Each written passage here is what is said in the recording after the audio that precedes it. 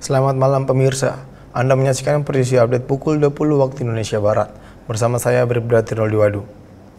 Polda Kalimantan Tengah melaksanakan anjang sana ke kediaman AKBP Purnawirawan Simanjuntak. Kegiatan ini untuk menjalin tali silaturahmi kepada para purnawirawan.